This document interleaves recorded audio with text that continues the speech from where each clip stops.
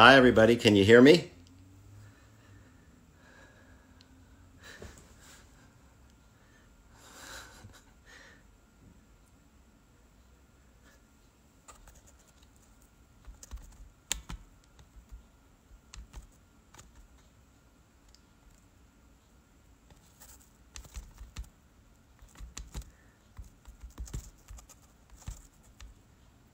Hi, everybody. Can you hear me? We'll be uh, joined by Ryan here in just a sec.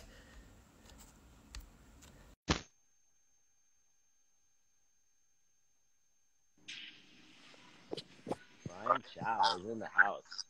What's up, Craig? Can everybody hear us? as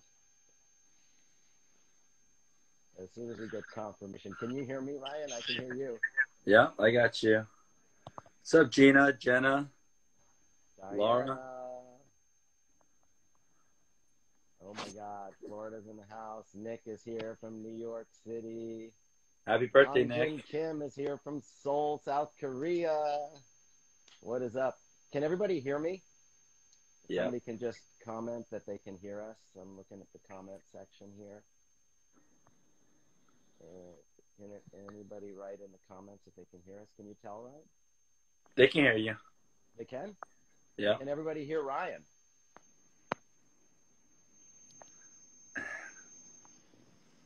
Can everybody hear Ryan? Do you know Ryan if they can hear you? Oh, Yeah. I can hear both of us. Gina from DC, welcome. All right, well, we are um, about to get started here. Uh, we promised two days ago we would uh, we would test my my uh, social media internet literacy here, which is pretty poor, um, and uh, try to figure this out. How are you, Ryan? I'm good, man. How are you? I'm great. I'm great. Everybody should know that Ryan's going to be even even gooder in a couple days when he and uh, his girlfriend Tracy are off to Greece. Yes, sir. It's Where, uh where, you, where you going in the Greek Isles? Santorini. Oh. I'm not allowed to bring my laptop. that is a smart woman. Tracy knows exactly. So uh, we got a few few dozen people here right now, and uh, we want to we don't want you to just uh, use this time to listen to us chit chatting. Um, but uh, what we promised was that we're going to talk about beliefs and reconceptualizing beliefs. Uh, we know how hard it is uh, to put knowledge into practice, take science and take facts and use them to challenge the status quo. The status quo is like what we've been doing, best of intentions, um, but uh, sometimes we have to update our priors. And what better time than as we put the pandemic in the rearview mirror when we get back that we don't get back to business as usual. That sound like a plan, Ryan? Yeah, I'm excited to talk about this. This is what I uh, spend every single day trying to chip away at, and and uh, excited to talk with uh, you about it and share with everybody from Australia to North America and, and everywhere. well, we're blessed. You know, the pandemic did have a lot of uh, opportunities for creative destruction, and um, uh, sometimes you get shown the light in the strangest places if you look at it right. As Robert Hunter, the lyricist for the Grateful Dead, wrote um, a few decades ago. Um, and uh, we have to make the most of this opportunity, and we have to challenge ourselves. And one of the things we learned, we did the um, high value webinar series for uh, 10 consecutive Sundays early on in the pandemic and had the, the blessing to be able to, uh, to meet many of you for the first time then that hadn't taken first principles of movement or Prague School to Athletic Development or modern spine care courses or various things that, that I've, I've introduced over, over um, uh, the past decades. And um, thank God because I got it wrong so many times. So uh, I think during the pandemic, we've started to kind of collate things and realize some of our mistakes and, and really get in touch with the client's needs. And specifically um, you know what what what we were hearing a lot during the webinar series and and I think Ryan may, may chime in here in a sec but we were hearing that people are are concerned as as professionals as movement professionals as coaches and clinicians. Um, you know what do you do when a person uh, is afraid if they do the exercise wrong that that that that it'll be counterproductive or what about when they have pain like like people associate hurt with harm they're afraid of making it worse um, not only because they do it incorrectly because they weren't supervised as far as form, but because uh, they feel that hurt equals harm. And, and when they feel sensitivity, they assume it's getting irritated. Um, and these were just two of the, uh, the things that people were asking us. There was other things that people were asking us too, but but do you want to share some of your thoughts uh, about uh, about uh, those two those two keystones? Yeah, but Craig, real quick, um, I'm seeing messages that it's hard for people to hear you. Um, I think maybe the mic could be closer, or maybe something loose. Okay, how how is this now? Is that better? Thanks for the feedback, everybody. I just took off my uh, headset. I can hear you better. I think. Uh, let me hear back from everybody else. Uh. So, so let me uh, just reintroduce that. I want to reset the table here during the high value webinar series. Um, thank you, uh, thank you uh, for those that are commenting. Uh, from the high value webinar series, we were so blessed. We were so blessed to be able to be introduced to a lot of people that hadn't done our live courses over the years.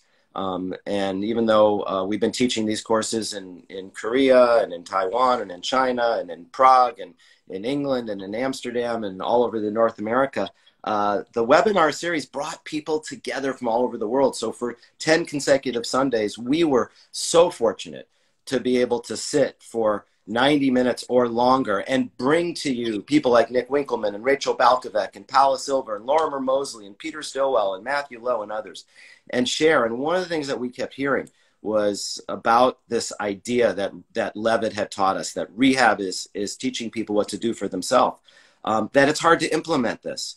And this is what First Principles movement has been always about, is about knowledge translation and uh, wow, we just had a, a, temblor here. We just had an earthquake in Southern California. So, uh, breaking the status quo, challenging the status quo, shakes things up. And and and one of the things that we heard was people saying, well, clients are concerned with coaches or with clinicians that they don't want to make a mistake. Like, what if they do it wrong? They need to be supervised. You can't do it online, and they need to be corrected, and the form has to be insured. And a second thing was, well, what if it hurts? People believe hurt equals harm. They think if they have sensitivity that, that things are getting irritated. And those two things seem to derail the whole process. So, so as we were getting together, as I quoted Robert Hunter, we're so lucky to have all of you asking us these questions in the webinar series. And that's what became our FPM mentorship launched in August with people from 15 different countries, from from seven different professions so that we could look things look at things in a new light. As robert hunter the lyricist for the grateful dead said sometimes you get shown the light uh, uh, in the strangest places if you look at it right. And so we want to change angle of vision. We are all about challenging the status quo. That is our mission. Um, so so ryan any thoughts on those those two points about one hurt equals harm and then people decide they're not going to exercise they need to lay flat on a table or take pills uh, or two, uh, they're afraid they're doing things wrong. And if they do things wrong, they're going to make things worse. So they don't even get started. Yeah, I think uh, going back to your uh, the, the, pandemic as being the catalyst for all this is is we learned when we were forced to to go to virtual and be away from people that uh, you know you, you have to learn the person learn about the person in front of you understand their environment and then when they don't have the option of of massage on the table or, or some sort of manual technique or modality, we're forced to teach. We're forced to uh, have people move, and we're forced to do it in groups too. And um, uh, so much good came out of it because we realized that most of the time, if you don't get caught up in every every uh, little bump in the road, that if you just keep pushing forward, that things get better. And you know, it turns out the science has been there all along. And if when if when we had to stop and, and address someone's concern every time they had a pain, it was another way for people to to veer off path. Kind of like what they teach you in business. Like if you make a person take the credit card every time, that's another opportunity for them to like, oh, maybe I don't want to. But if you're on subscription mode, uh, you know, people just stay, they just stay bought in and you get to really make a change over a long term. So, so I think, um, I think that the pandemic was a blessing. I think virtual training, I think group training has all been a blessing that I've really tried to embrace with um, the team at Reload. Um, I think we've seen amazing results. I've seen such amazing messages, and uh, the, some of the, the, the, people in here can chime in about this too. Um, uh, the group is so much better. Uh, the camaraderie, the the uh, the achievement, the the community, the fun is all so much better than uh, tiptoeing around every single exercise and every single movement. It's like it just becomes this thing where we all deep down know inside that like you got to move. Like what's what's the quote that um, your mom always tells uh, that you always bring up? So this became sort of what I was known for in China. It became the icon for for first principles of movement. My mom said, if you want to move, and she's 92, if you want to move, you got to move. I love that. I love that. Yeah, it's. I just love. Yeah, I just love the energy of a group. I love how people learn from each other. They look you know, there's so much implicit learning. You think about, you know, not to make it too sciencey, but you think about how much a cerebellum has to look at what's going on and adjust.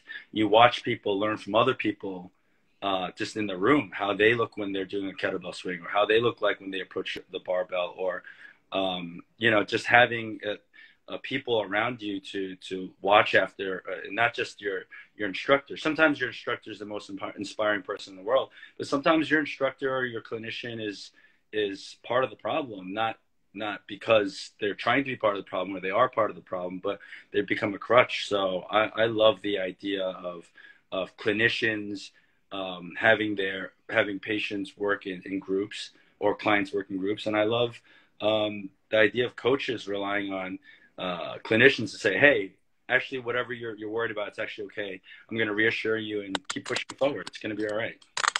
I love that, and I think um, uh, it, it, it, it dovetails with one of the other things that we started to update our priors about during this, this period of reflection during the pandemic of creative destruction.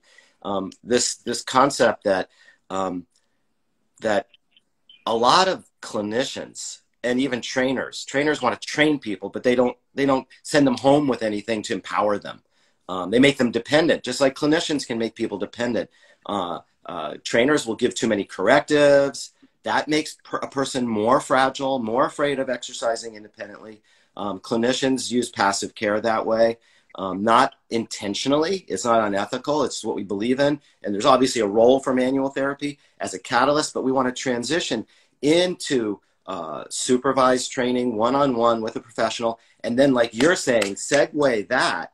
So once we've reassured and reactivated them, we want to segue them towards strengthening, getting under the bar, towards load, becoming better prepared, and then using a lot of different options, uh, variability. These are our four principles. And going into group really challenges a person's sense of self efficacy, their how empowered they are, um, uh, and and is the proof that they're no longer a fragilista when mm. they don't feel like they have to do everything perfectly. And then something ironic happens, which is now they become the leader to somebody to their right or left. They now are empowering somebody else and they're like reassuring them, like, hey, don't worry, you don't have to do it perfect. It takes time, you're going to get better. Um, not every hurt equals harm. So, community does a better job through peer support than a one on one trainer or a one on one clinician can do with a person. So, this whole idea has pivoted from worrying about poor compliance and saying, I'm not going to give somebody self management because they're not going to comply, to let's achieve collaboration. And what better way to create collaboration than through community and building community and segueing people from from one on one into group, from clinician centered to client centered, from, from having a clinician work side by side with you to having a trainer work side by side with you. And now you're working side by side with peers, with other clients this is building our, our community and empowering people. And, it, and, it, and it's echoed in an incredible podcast from JOSPT, Journal of Orthopedics and Sports Physical Therapy, just released like two days ago with one of my favorite experts in the world, Linda Truong, a PhD PT in Calgary, uh, with Christine Lee, a collaborator of her, hers, and they're talking about group training, just like you were, Ryan. They're talking about um, how there are um, um, landmarks and they have divided their training into into four levels and what they do is they bring people in that all have different injuries. So there are universal standards basic fundamental movement literacies that you can use. You don't have to be sport specific. You don't have to be injury specific. Like they said at exos um, uh, if you're a sedentary secretary or you're an elite athlete we're going to look at your squat the same way. And if there's a floor there, we're going to try to raise it. So what they've developed is they develop landmarks, and they talk about this in this podcast, which um, I've posted about, and you can listen to uh, you can listen to Linda and Christine talk about how they progress people, uh, what their uh, baselines are to go from level one to level two, level two, level three, and just as a as a um, uh, kind of um, uh, view to the kill here, level four is where you're starting to do pivoting, change of direction. That's level four. Before that is more sagittal plane or frontal plane or transverse plane, or it's pillar prep, or it's mobility, or it's balance, or it's single leg. Uh, but not until you get to level four is it combining things so there's change of direction, which is also echoing the Exos approach, where you learn multiplanar, not uniplanar. But when do you put it all together? Well, in the end. Yeah, I, I love I love the idea of having uh, uh, baselines and then things to achieve. You you don't start running because it's eight weeks after your injury. You start running because you can tolerate first single leg calf strength and then double leg uh, plyometrics and then single leg plyometrics and then repeat efforts. And um, if if everybody on the team, whether coach or clinician, understands the landmarks and the achievements that need to be acquired, then we can all work together to to uh, what's up, Harley? Uh, to to to to progress people towards their goals, and it's about the person in front of us, not about the program we want to force on people. It's not about the kettlebell. It's not about the, barbell. It's not about um, you know just change of direction, but it's about getting the person from where they are where they need to be. And if we have you know an ability to communicate about those landmarks and about uh, uh, unlocking those achievements, then we can all work together and really do so much. And and um, you know what you were just saying was echoed by uh, Amber, who is a, a, new grad chiro who's in our mentorship right now, who said the group creates a sense of responsibility for the person in, in the uh, you know, it's it's the depend independence that we're trying to impart on people, and what better way to graduate people, and, and what sense of achievement, just like CrossFit did. Like, hey, you finished these entry level one on one stuff. Now you're ready to join the group. That's the big achievement. Like,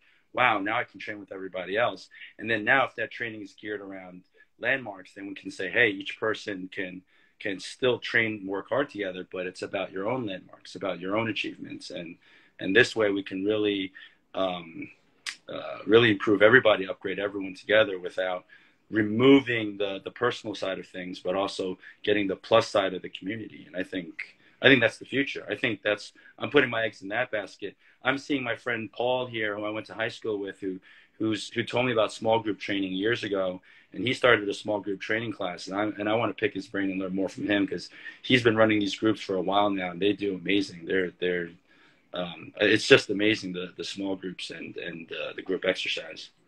Well, that that's really what it's all about. I, think we know we realize you can't manage what you can't measure. So so people want to know it's safe, and and one of the things that that we always talk about is finding a safe starting place for people. Um, we want to give people a positive experience with movement, and then we progress them, okay, to the hardest thing they do well that's related to their goals.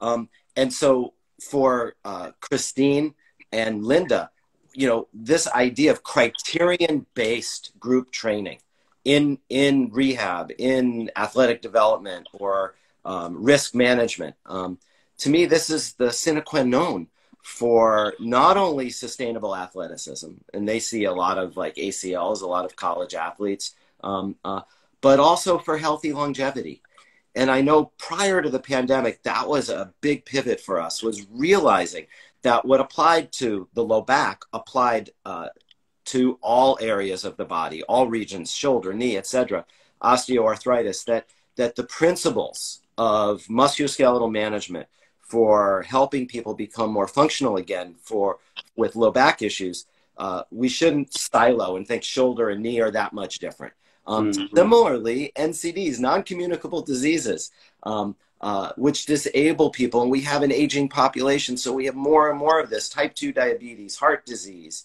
dementia, uh, obviously osteoarthritis and back pain, uh, fall, falls, frailty, sarcopenia. Uh, all of these issues, they all come back to kind of the same fundamental things. We have, as a society, we have become overweight. We have lost our strength. We're atrophying. Um, we've been told, because we're all getting scanned, that we have wear and tear.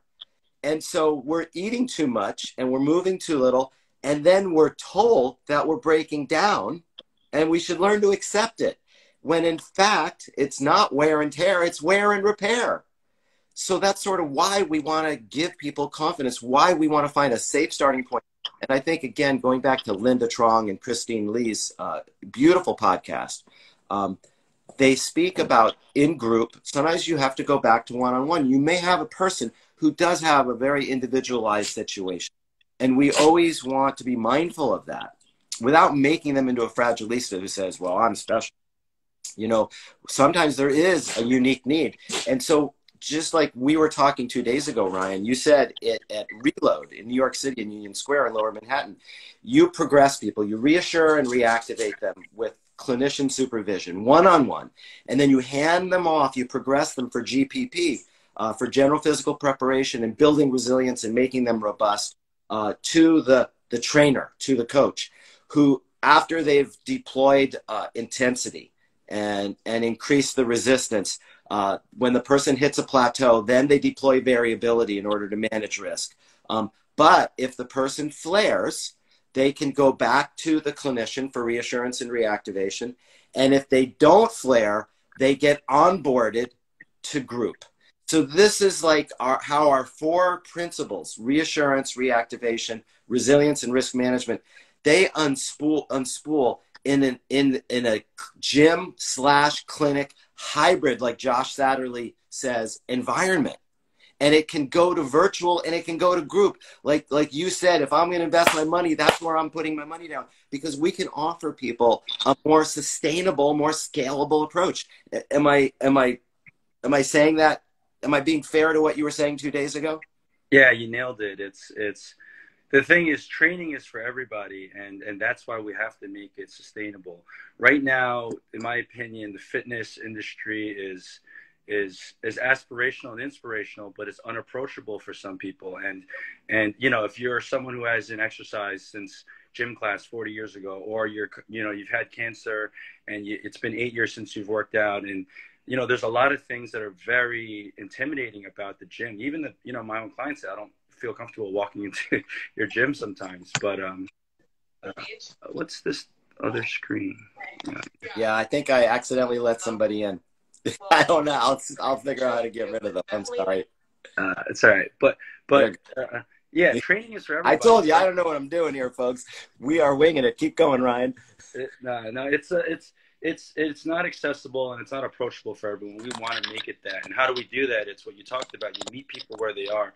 What you're describing about. Um, uh, you know, a flare. Someone has a flare up. Uh, you know, they're not ready for the, the general prep of everybody else. Really, they are. It's just one or two patterns or one or two buckets need to be brought up to speed and that's where the one-on-one plays a role. But but it reminds me of spp versus you know sports specific versus general phys, physical prep. It's really about general physical preparation 80 to 90 percent of it. And and then you might need to sprinkle a little on top. And and i think i think it's the same thing with injuries. It's for the most part to prevent whether it's arthritis a frozen shoulder or you know uh, I don't know back, chronic low back pain for the most part we have to keep moving. For the most part we have to train all the the general biomotor qualities strength mobility power speed all these things to varying degrees for each person's goal but we still have to maintain them. That just reminds me for sports specific, almost always the low hanging fruit for a person is that it's not that they need to throw the ball more or they need to sprint on the track more often. It's they need to attack their weak links. You're only as, as good as your weak link, and that's where the clinician or the one-on-one specialist comes in but for the most part we all have the same parts the same needs and the same things we have to develop and and if if we can um, have people who can specialize in recognizing what needs to be reactivated, not what needs to be de-educated and then re-educated on, which is the reassurance to, to ensure people that yes, it is okay to to train this. Yes, it is okay. You're not we didn't miss something and you're not going to cause more harm or you're not going to make things worse by training, even if it hurts while you're doing it. a little bit or things like that, or you get soreness. And then from the training perspective, you know, we want to make sure everyone's training all the qualities through the year. It's not just about the kettlebell. It's not just about the barbell. And if you do that all the time, you need someone to give you the vision that says, hey, you know, you've done this kettlebell for, you know, 62 weeks straight. Maybe that's why your, maybe that's why your elbow hurts because, you know, it's, it's a plyometric for your elbow and maybe you just need to do some some upper body training that might culminate in you doing more pull-ups or you doing uh, you mean we uh, shouldn't do plyometrics like twice a day? Uh, if you can handle it. I think that's a great Marty Gallagher point too, because when people are having a flare or they develop a new pain, I mean, injuries are part of the game, right? And injuries are part of life. But most so-called injuries aren't even injuries. So, you know, yes, LeBron James um, uh, and Donovan Mitchell, they badly injured their ankles, and uh, they had to take weeks and weeks off. And when they came back, they weren't 100%. Um, but how many times does a basketball player turn their ankle? They're completely disabled for about 40 seconds. And and they're they can barely bear weight and they have trepidation and everybody's concerned. And then they start to walk with a limp. And then the ref blows the whistle and the player doesn't come out of the game. Next thing you know, they're backpedaling. Then they're pivoting. They're changing direction. Next thing you know, there's a rebound and they're on the offensive end and they're sprinting. then they have the ball and they're doing magic with the ball. They're stopping on a dime, changing direction, reversing course, and there's no sequela. So for people, a lot of people will will get hurt and they assume there's damaged. They assume that hurt equals harm. And I think this is the number one thing that we want to move away from. And it's the number one thing that gets compounded by the desire to find the specific cause of musculoskeletal pain because people chase the scan. How can you know what's wrong without a scan? And the science is so clear that if we scan people that have no pain, false positive rate is like 50%. A little less in people under 50, a little more in people over 50. But the false positive rate is through the roof. And in young people when there is a degenerative finding or a torn hip labrum or uh, uh, uh, arthritic spur or a herniated disc in an asymptomatic 25 year old, the incredible news, the good news is that compared to people with pristine scans, that person, believe it or not, is less likely to develop symptoms in the future. So, what does that tell us? It doesn't tell us scans are unimportant. Because if you have sciatica, I know your scan is positive. And if you don't get better with me and you don't get better with anti inflammatories and epidurals, you are going to have a surgery and they'll know exactly what to do and the outcome will be very good. Do we want to avoid it? 100%. But, but for most people, we don't need the scans. For most people, there are so many other things. It is so complex why a person has back pain, hip pain, shoulder pain. It is so complex it could be tight hamstrings. It could be a stiff hip. It could be you're you're not using your core. It could be your boom and bust weekend warrior who doesn't train for the game and just wants to compete and pretend they're 20 and, and doesn't recover.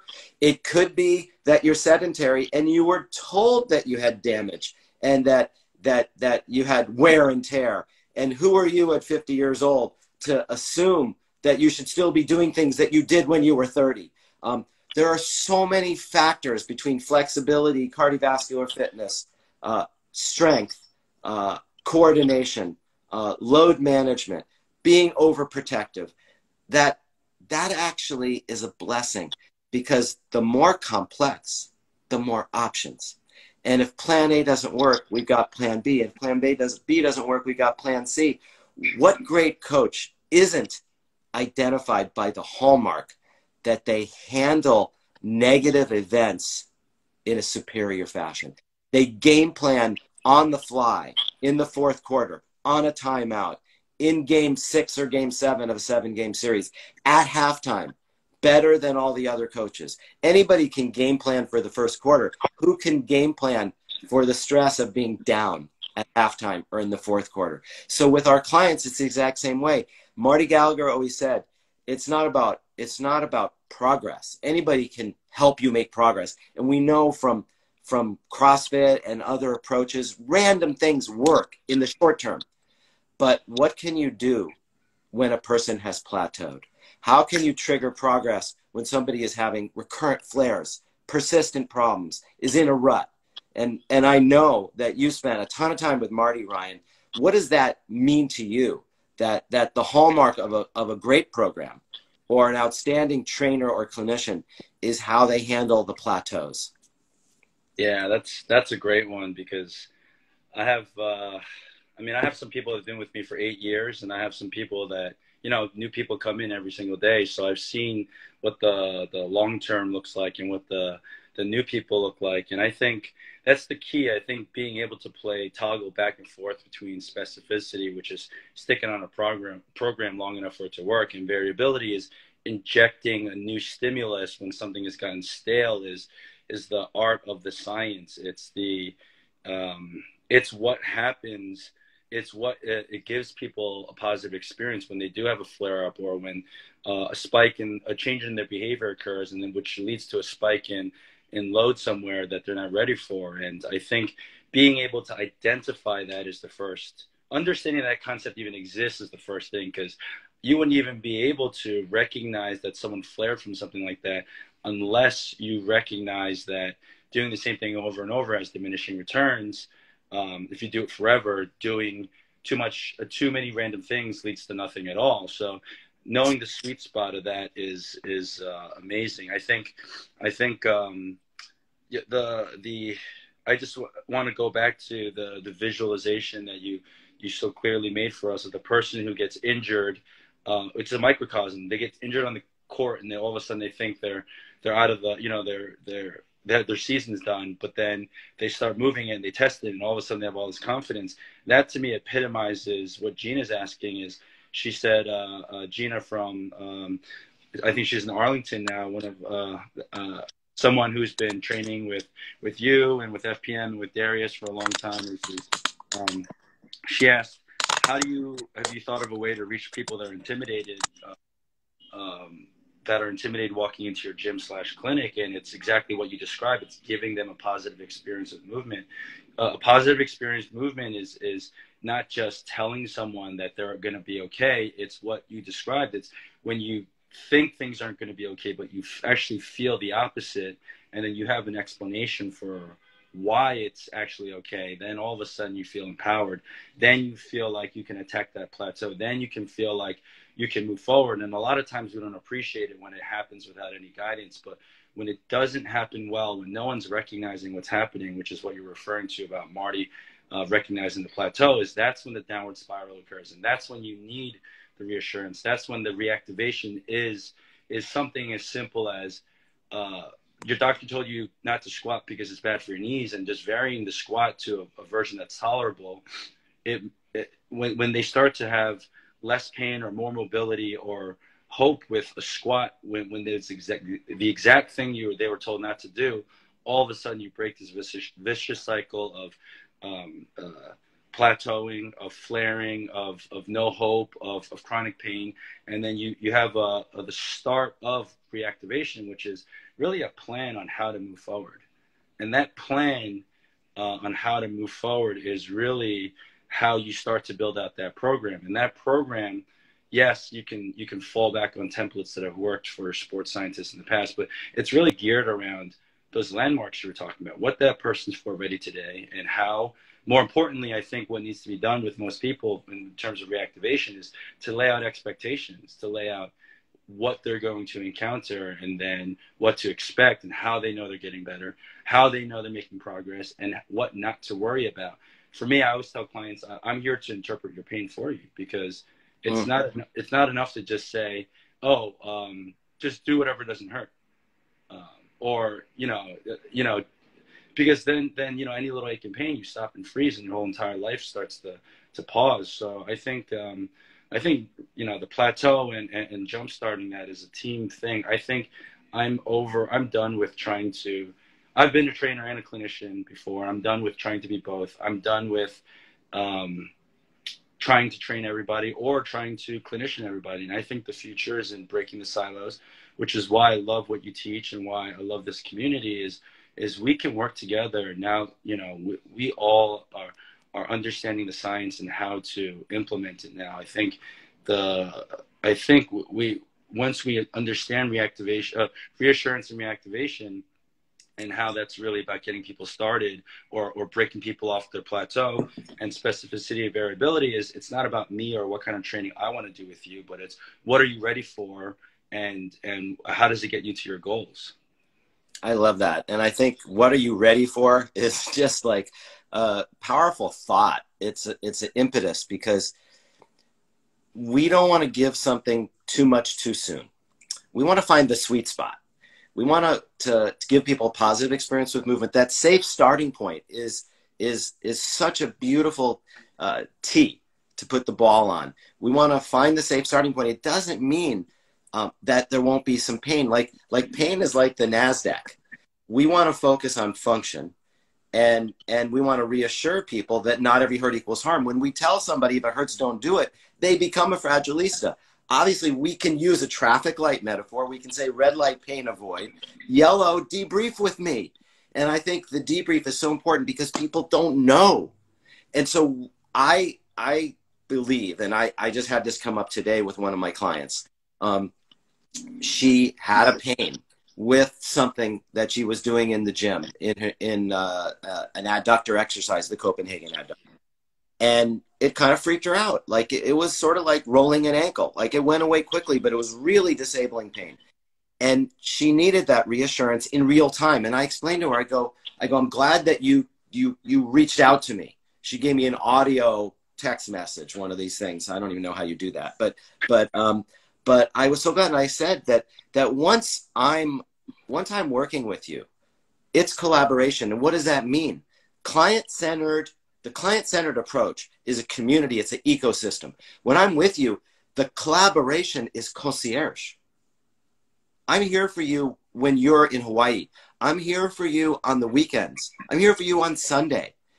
I may not get back to you immediately, but I want you to know that you should contact me in real time. Don't wait till the next visit. Don't think that you have to do my online scheduling and schedule for a paid visit. When you see me the first visit after I've spent 90 minutes, you're now part of my community, part of this ecosystem. And I want to know any questions you have in between sessions. That way, when I have a session with you, I can hit the ground running. And if you're already in our groups, then we don't have to worry that there's something going on in the back of your mind, something that is cropped up. We want you to be unfettered. We want you to be confident because confidence, like Michael Gervais says, is the cornerstone of great performance. And it comes from one place what you say to yourself. So if you're feeling fragile because something happened you're not used to, how would you know that injuries are part of life and injuries are part of the game and that you, that it's normal that you bounce back quickly and that I want you, I'm encouraging you to debrief with me tomorrow. Why? Because as Rachel Balkovec said uh, in our in our high value webinar series in the Sunday morning programs, um, people aren't snowflakes. And so she has taught us, the first female in Major League Baseball from a coaching capacity, she has taught us from Carol Dweck, from Stanford University, all about growth mindset. That what does that mean for us in the musculoskeletal arena with respect to sustainable athleticism or healthy longevity? What it means is that people aren't snowflakes. That that people should be onboarded to exposures to feared stimuli, to exposures to load that they can adapt to. That is the hardest thing they do well. That they should be exposed to things that make them have more confidence, that exceed their expectation, that builds what? That builds failure tolerance. We don't promise you won't have flares. We're not fixing anything. We're not fixing things so you can get on with your life.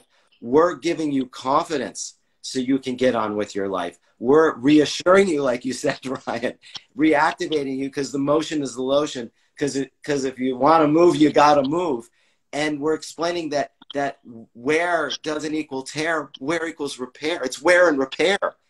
It's getting back on the horse in a controlled way that we are helping you find that safe starting place.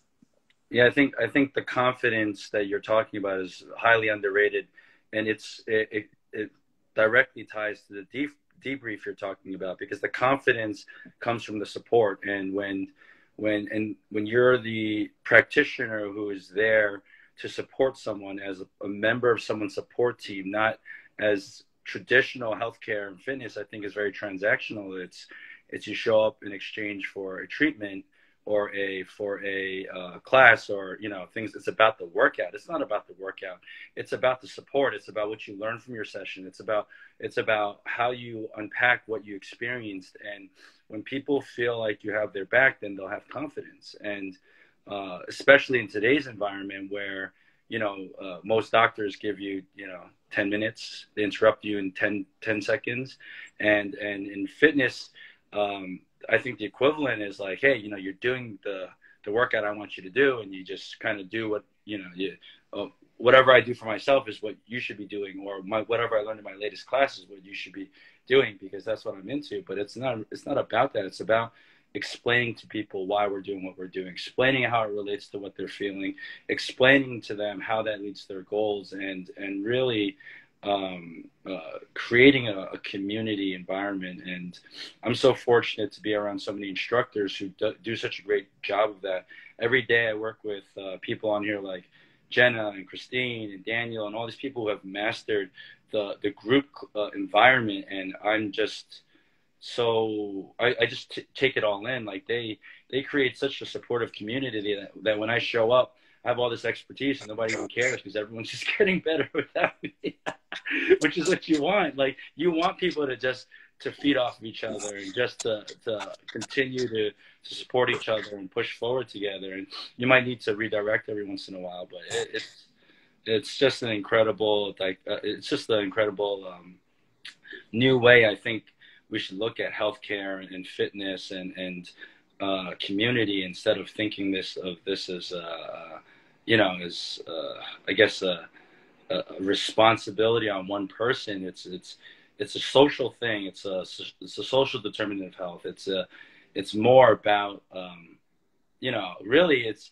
is we want to try to get our group classes closer to activity than exercise, right? The only reason why we have to exercise so much is because today's society doesn't have a need for us to you know farm work and whatever, but but if we can create groups and communities, then all of us will will uh, that, that'll become our version of activity instead of a chore like exercise is seen right now.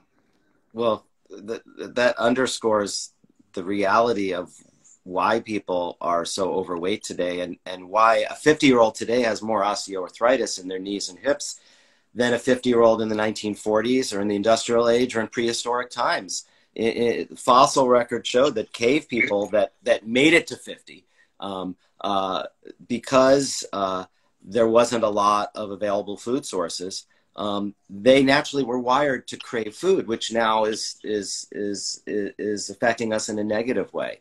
Um, and uh, they had to be very physically active. An older woman had to go and do all the gathering with the young girls and they were the ones that were responsible for finding all the, the available food especially when when cave people before they were became hunters they were gatherers um, and this this required a lot of physical activity and then of course they would conserve energy so we were wired to be lazy and we were wired to crave food and now those two traits lead to obesity because the food is right there it's two steps away it, there's supersized at 7-Eleven. There's McDonald's fast food. There's food in the cupboard. We have refrigeration. In the industrial age, we had we know from the bones there's less arthritis in 50 year olds. From the 1940s, we know there's less arthritis. We have the X-rays. So so so as Hawking said, the cause of most disease is we move we move too little, we eat too much, and why it is more people don't realize this is beyond my understanding. So, so we kind of do understand it. It's behavioral, and that's why today this this IG Live, this Instagram Live is all about reconceptualizing beliefs. And one of the biggest things is we don't want to shame people. Like it's not like you say, it's not about exercise; it's about activity it, it, our best test is tell us what your activity intolerance is. We knew 30 years ago to pivot from symptoms to activity intolerances relating to symptoms. Tell us about your lived experience. What can't you do that you want to do? Where do you see yourself in the future? What are you afraid of losing? And so we can reverse engineer. A 90 year old needs to be able to squat. We have a timed squat test for 15 seconds, getting up and down from a chair without hand assist. And that gives us the biggest window uh, as to your uh, your resilience for for independent functioning, for avoiding assisted living. If we look at 75 year olds, we know that falls are not accidents, they're incidents. And, and the, the, the, the rate of falls since 2000 is up 400%, not because we have more older people, it's per capita. So what can we do? Well, we want to help people so they can get up and down from the floor. Our 75 year olds are afraid if they fall, they can't get up. And we know that that's not just about mobility, it's about strength. It's not about strength, even, it's about power. To prevent a fall, going downstairs requires speed of contraction. So it's about power. So we know 50 year olds, they need glutes and abs, they need hip mobility, they need shoulder mobility. So we've reverse engineered all that into our programming. That's what Christine and Linda Linda are talking about in their JOSPT podcast. That's criteria based group training. It's about the fundamentals. And, and I think we've learned so much about this from people like Dan Pfaff because Dan says, What is my screen? My screen is, is watching you do a, a movement prep, warm up for the activities of the day. And I watch how you prepare with incredible attention detail. And then we look at Mike Boyle, and Mike says his, his parents that have a hockey kid or a lacrosse kid or a tennis kid or a cross country kid are, are all wondering why, why is my cross country kid, kid doing the same thing as that football wide receiver? How can that be the right thing? And Mike has to explain that the basics are the basics. We're working on giving a foundation. And so what we know is squat, lunge, hinge, push, pull, carry is scalable. 90 year olds need to squat. 75 year olds need single leg bias. They need to lunge. Uh, 50 year olds need pillar prep and, and, and active mobility. This is for everybody, whether you're a shoulder or a knee or a hip. And what an exciting time. But to your point, Ryan, about social determinants, like, my God, what, what an aha that it's not about lifestyle. And this has come through on Twitter in the last two days. Lifestyle is a Madison Avenue thing. Lifestyle is a branding thing. We don't want to turn promoting physical activity into a lifestyle issue then it becomes something for those people who can afford a personal trainer. And that's why we're pushing group, but even pushing group isn't really getting to the root of the problem. The root of the problem is what zip code do you live in? And can we, um, can we leverage our influence, our circle of influence for policy changes, for green spaces, for, for no car zones, uh, for more human locomotion in cities, uh, for uh, safe areas for poor people, for low income housing near places of employment. Um, we need to change the whole discussion from the big global picture and not shame people, not start, not get back to New Year's resolutions again. Um, it's not about willpower because we are wired for being lazy. We are wired for for craving food because most of our existence was as cave people when that served survival. Now it's all right there. And being lazy makes us fat, and overeating makes us fat. We don't want to make this about lifestyle. We want to realize that there are much bigger psychological issues. We want to find the behavioral economics nudges. And that's why another thing that we focus on a lot is gamification. And that's why community is so important. So I just love, Ryan, that you pivoted this conversation in the first minutes away from an emphasis on clinician, away from an emphasis on one-on-one training to community.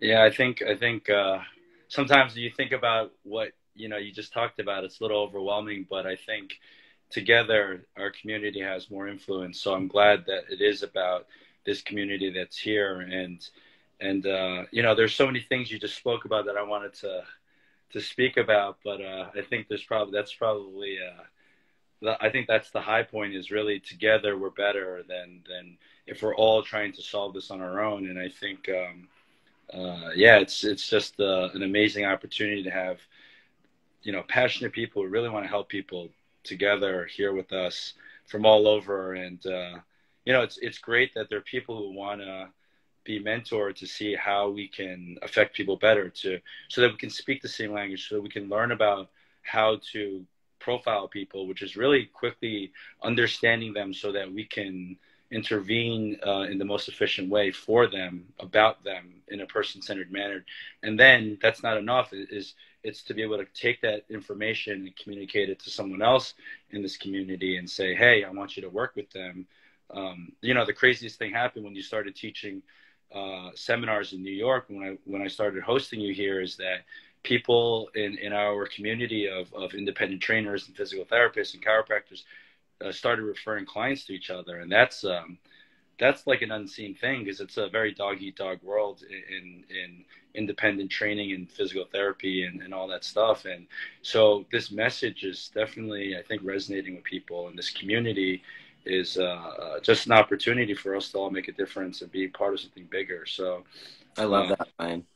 yeah and I, I, think it's just the first step. We, we we mentor together. We we learn how to speak the same language. We trust each other with our clients our our um, the uh, our name, uh, our our uh, you know our family members and things like that, and then and then from there, I think I think we, we can help each other. We can help each other. It's just easier to do it together than and there's there's unlimited amounts of people who need our help, and that's an unfortunate thing, and and that's why we I think um, you know I'm so happy that during the pandemic we were able to turn such a bad situation into a positive and and leverage virtual, leverage IG Live. We we struggled so much trying to figure out how to do this the other day, uh, but but trying to try, you know, we were forced to solve it. We were, we were like, you know what, I don't like this, but I have to solve it. We solved it.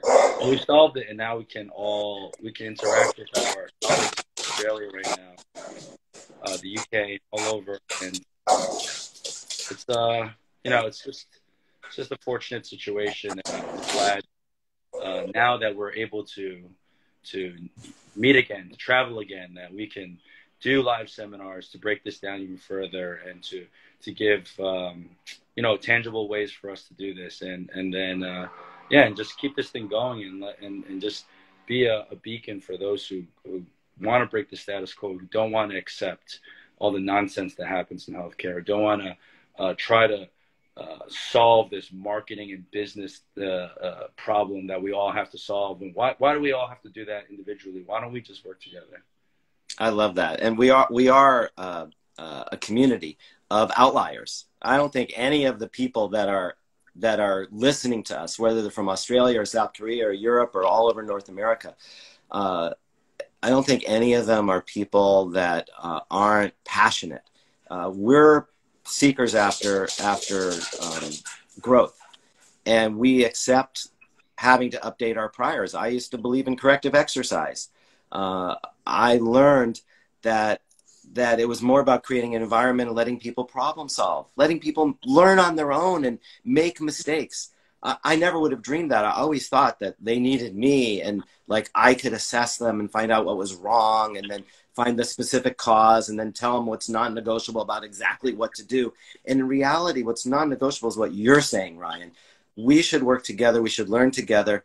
We should have an open mind, as Dr. Lewit said, for new ideas that sometimes shows what we thought or believed before was wrong. And, and it's that humility, I think, that unites the first principles of movement community. We want to integrate it's not one way or the other. Uh, every system out there has has benefit for people. Um, we want to deploy whatever works, and you said it about kettlebells. Like like it's important to have optionality um, uh, because a person will maybe not have access to a tool, or they'll get hurt using one tool, or one tool will be um, uh, something that they master, and now they they they can learn something more uh, to become more flexible and agile and adaptable by playing with the landmine or the dumbbell or the barbell or body weight or just going out. And and I have trainers as as clients of mine where I'm like go for a hike walk your dog. Like don't train deload. Um, and Henk Kraaijenhof, one of both of our favorite sprint coaches in the world, this is a big thing for him is the deload and not training people, going for a hike with his great sprinters. And he's had the most uh, uh, he's had the, the, the, the most medaled woman in the history of Olympics as his client. And that's, that's something that he learned. So I think we can learn that from him. And of course, Henk also says quite elegantly what, what's become sort of the credo of our mentorship. And Laura is here, Laura Latham, who heads our mentorship. Uh, uh, the profile comes first, the program comes after. profile your client first, then build the program. And that's what we teach in our mentorship. We have a mentorship starting in August. It can be different in 5.0 than 4.0, 3.2, because we're coming out of the pandemic. We're going to have fewer Zooms because people are getting out in the world. We're going to lean into our resources and self directed learning and our chat. Our chat is going to come forward because you can get on the chat anytime that's convenient for you, whether you're in Indonesia where it's three in the morning when we're having a live Zoom we're also probably going to do live Zooms midweek at a different time. So we're pivoting and we can't wait to just meet together. In Chicago, we'll meet together again in October. Um, and, and that's something that, you, that you've really contributed so much, Ryan, is building the community of people that should be in competition with one another. But they're meeting together to learn together. So when we have a, a room of people, I love it because our room is not just chiropractors. I'm a chiropractor. It's not just PTs, you're a PT the majority are are coaches, are trainers, because movement is medicine. And I have them stand up, and then I have the PTs raise their hand and the chiros raise their hand, and I look at the PTs and chiros and I go, the trainers, they're your teachers this weekend because the only people we can trust to put movement and exercise first. Mm. The rest of us, we're so corrective we we go back to our modalities and our manual therapy. But who can we trust? Who really is totally committed to exercise as medicine? And if there's an online coach in the room who does group next time i'm having them stay standing because they're the one i want to learn from the most like a lauren Kanski like a community of 500 people like like like i want to learn how to do that. Mm. any final thoughts? I'm going to let you take us out ryan. Give us the give us the last 30 seconds Oh man, no, I'm I'm excited. Uh, yeah, it's the the updated mentorship, the, the in-person learning, and learning from you know people who are showing up to supposedly learn from us is. I can't wait for all of it. It's it's been too long since we've all been able to travel. It's been too long since we've all been able to connect in person. So uh, I love the the upgrades. I love uh, the fact that we're reconnecting all of our past mentees on a board and, and working together to help each other on, and, and for us to, to help with hard cases and share our experiences so we can all update our priors even faster and make a bigger impact overall. Well, we've been we've been so blessed, and and this idea of community, what you've done in New York, has been amazing, and and you know we've had courses all over the world, but I feel like I feel like uh, uh, I'm lucky to have you and Laura working with me, and Chad Buell is with us too here. Uh, our faculty has just been amazing. Uh, we we just have so much to learn, and we want to challenge the status quo. We want to address the worldwide inactivity crisis. We want to bridge the chasm from evidence into whatever environment you have, online, gym, or clinic. Uh, we want to promote sustainable athleticism and healthy longevity and and we're just scratching the surface because we know there are so many social determinants of health. And we really we really are limited and constrained in what we can do to address that. But but that's on our radar. Like like we have people now going into population health. We have people going to duke. We have people dropping out of chiropractic school. We have people going to harvard school of population health. They're going to be addressing these things and we're going to stay in touch with all those people. So let me thank everybody, and uh, we hope to see you see you down the road real soon. Yeah, we'll do it again soon. Thank you. All right. Thanks, Craig. Thanks, everybody.